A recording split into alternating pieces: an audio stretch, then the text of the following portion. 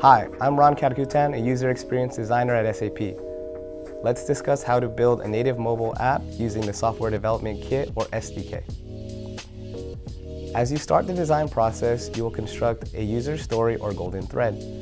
The golden thread illustrates the most important touch points throughout the day, where the user is interacting with your app. This can be mapped out to a rough sketch or wireframe. From there, you can use the sketch stencils to quickly translate wireframes to high-fidelity screens. Another designer is with me from the team, and she will be taking you through step one of the process. Hello, my name is Cynthia Lam, User Experience Designer at SAP. Let's get started. Step 1. Focus on your users. It is important to spend time with them to better understand what they do how they do it, and how they feel about their responsibilities in the workplace. By mapping out your user's golden thread, their tasks, needs, and pain points become much clearer. This information is important to you to design an app that is not just nice to have, but indispensable to your users throughout their workday. Afterwards, sharing the golden thread with your users will help validate your understanding of the problem Visualize the overall flow and identify key screens of the app. Step 2. Sketch and wireframe your key screens. Once you have an overall view of the general application, you can begin sketching screens or wireframes of the app.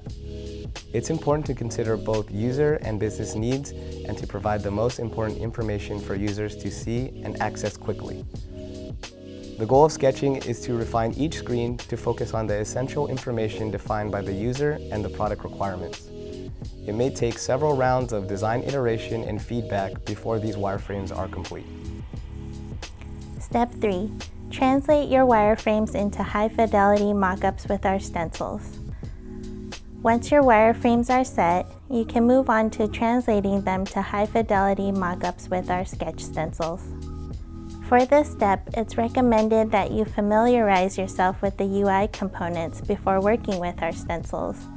In addition to our design guidelines, please check out the Fiori Mentor app.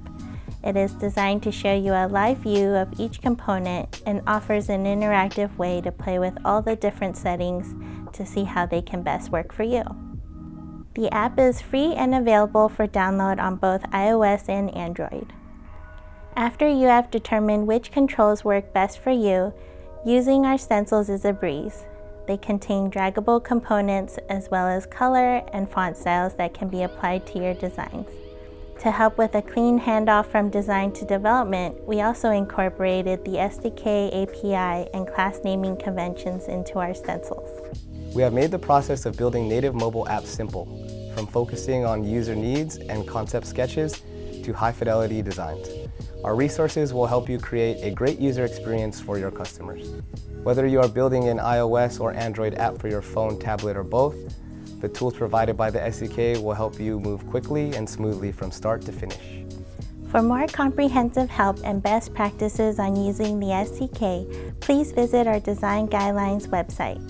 Building a native mobile app for users has never been easier.